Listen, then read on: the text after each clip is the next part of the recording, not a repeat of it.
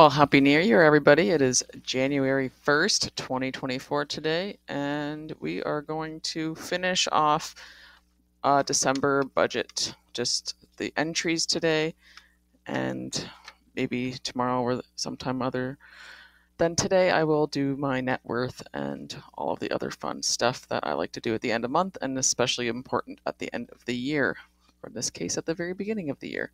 So here we go. First, I'm just going to take this out because I'm doing every day in December will be done after this. And so for any income, I received $100 for child support and another $100. Those were on separate weeks. I got paid in the same week, but they were four separate weeks, so I put them down as separate entries. And we go down. YMCA fees was seventy three forty five. Not do any therapy this month. Took off December, but I will be resuming it next month. And gymnastics has I will put in there sixty seven. 80 every month is gymnastics. Okay. And it's not a ton, luckily for me for this week since it is Christmas, so we weren't really out shopping or doing too much. So groceries this month was 126.87 not month week rather was $126.87 so I'll add that to the 357.32 and that equals 484.19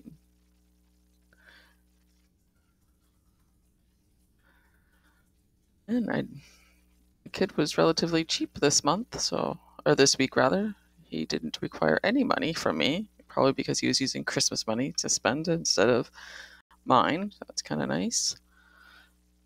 Um, Justin's had a payment of 7005. That is dog food.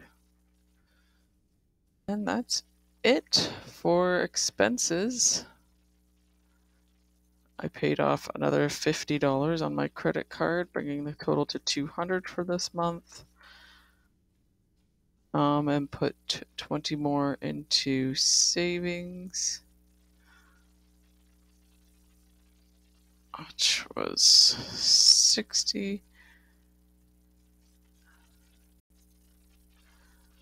And that is not right because I have um, 575 plus 60. So 635. Is that right? Uh, this needs to be changed because I have deposited money into there. I just haven't calculated how much. So I will change that, but um, it should be roughly around any one of these numbers.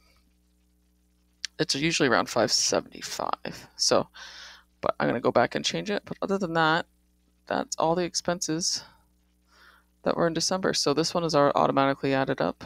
Um, my income was 2635, pretty much the same as last month. Expenses was a little bit less. I did not have any therapy this month, so that's why that is less.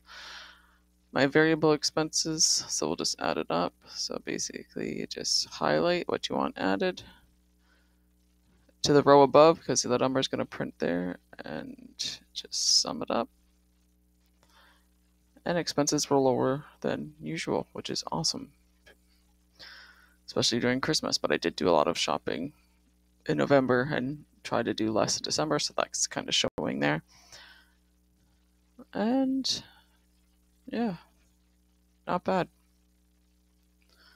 And I said in a future video that sometime this week I'm going to do my net worth and all this, and I'll do my goals, what I want to have, my financial goals, and everything like that. So, but that is December, and I'm looking forward to getting into 2024 because my about my sheet is much nicer looking, as you can see.